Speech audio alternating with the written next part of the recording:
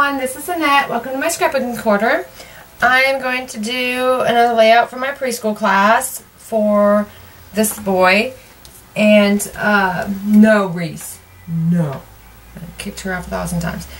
This paper come from, I don't know if it's Color Box, Color Book, uh, paper pad that I had bought from Walmart a while ago. I don't even see it in their stores anymore.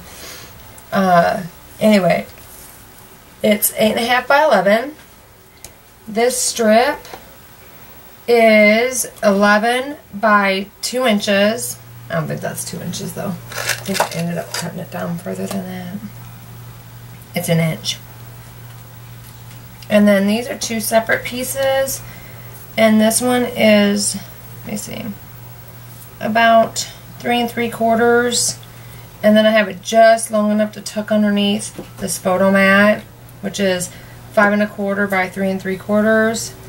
And then this one is, of course, the same. Oh, I don't know why it's three and three quarters, because it's the same width as my photo mat. Hello.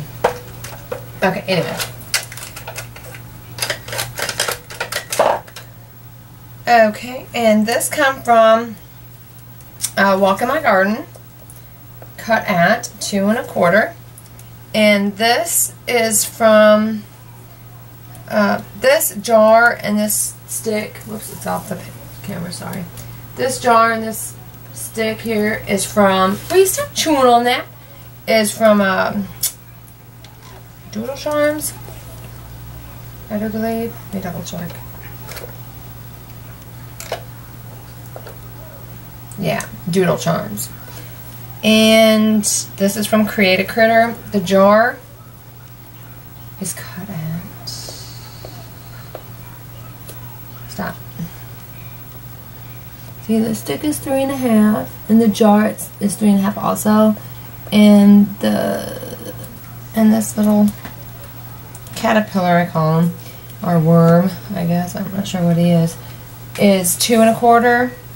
This is from Elegant Edge, and it's three inches, and the title is Making a Grade, and it's cut at two inches as well. And so that pretty much tells you the size of everything. And I did use a page map. It is, let me find his name, October 2012. It's the fourth one listed on the page. I would show you, but the cat's kind of in my way. What? I know, I just got home and no, I'm not paying attention to you. Oh my word. What did I tell you?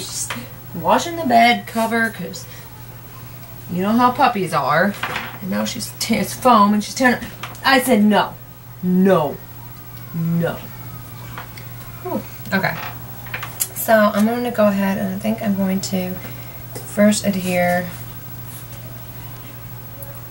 the, his name.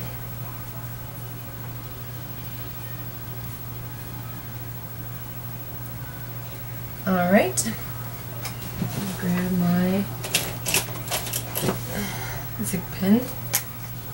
No, excuse me, no, Reese. Good girl, get your stick. She brought the stick in from outside. Okay, just want to make sure that you guys can see.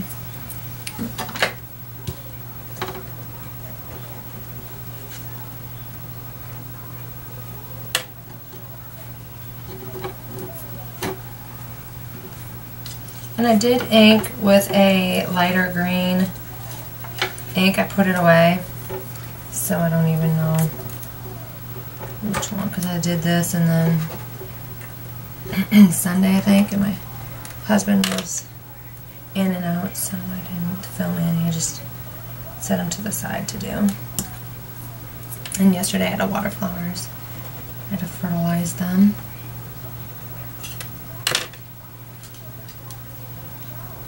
Because it hasn't rained and I needed to fertilize them with my compost tea.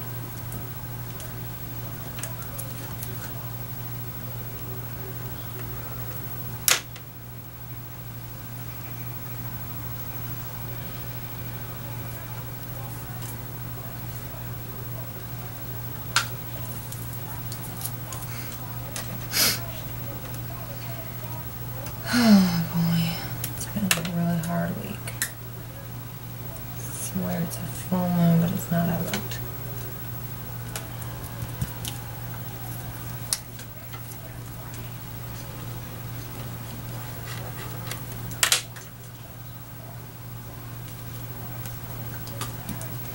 Okay. There's that. These I have up on foam, so I will use my Zip Dry.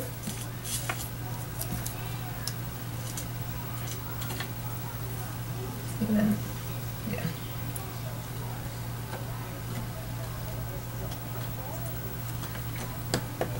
And then he's just gonna sit here. And I used uh, Peachy Keen Critter Face stamps, these small, for their faces. Alright, he's just gonna kind of go like he's walking along the photo mat. Alright, we see I love you too, but you're not getting in the camera. No.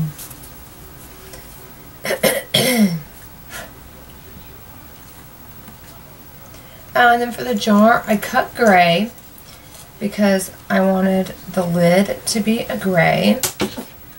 And, but I didn't think it would look right having this little bug or this little caterpillar and the twig just sitting on the paper. So it didn't seem natural. So I used clear vellum and cut. So what I did is I cut it out in gray. I cut it out in white and I cut it out in vellum. And on the white and the vellum, I just cut off oops, this jar top is all I did. Alright, for these. So that way it looks like he's behind the jar. I don't know if you can see, so it looks like he's kind of behind the jar. There's vellum. Anyway, so that was kind of quick and simple. Thanks, Reese.